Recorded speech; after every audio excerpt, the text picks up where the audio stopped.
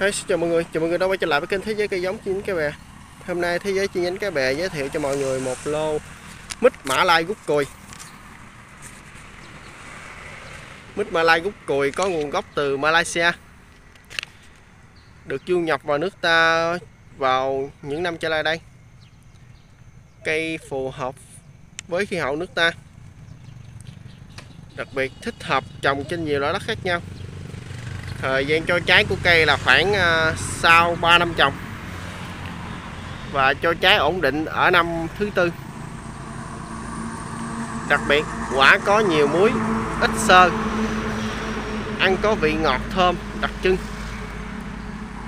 À, nên được nhiều người ưa chuộng hiện nay nên đem lại tiềm năng kinh tế khá là cao. Nếu mọi người có nhu cầu mua hoặc cần tư vấn hỗ trợ, mọi người gọi đến số điện thoại 0824 664499 để được tư vấn và hỗ trợ. Hẹn gặp lại mọi người ạ.